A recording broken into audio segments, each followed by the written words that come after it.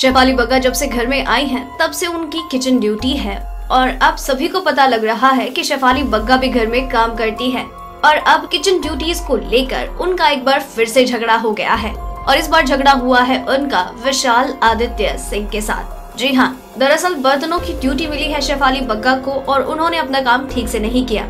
और वो विशाल पर इस बात को डालती हुई नज़र आई कि अगर शाम के बर्तन साफ़ करने का काम मेरा था तो तुमने मुझे बर्तन खाली करके दिए क्यों नहीं? तो यहाँ पर मधुरिमा कहती हुई नज़र आती है कि बर्तन खाली करने का काम हमारा नहीं है।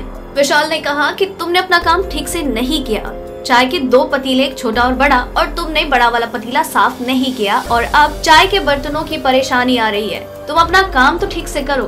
तो इस पर शेफाली कहती है एक्सक्यूज मी मैंने अपना काम ठीक से किया है। तुम अपना काम देखो और मुझे इस बारे में मत कहो कुछ भी।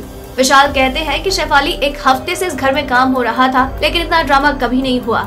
लेकिन जब से आप आई हैं, आपने काम करना शुरू किया है, आप इसी चीज़ को लेकर मुद्दा बना रही हैं। इस दौरान ये दोनों एक दूसरे पर खूब चिल्लाते हुए नज़र आते हैं और विशाल कहते हैं कि एक्सक्यूज मी अपना ये एटीट्यूड अपनी जेब में रखो और निकलो यहाँ से, चली जाओ। तो वहीं शेफाली ये बात सुनकर और भी ज़्यादा गुस्सा हो जाती है और इन दोनों के बीच में एक बड़ी फाइट हो जाती है, वो भी किचन ड्यूटीज़ को लेकर।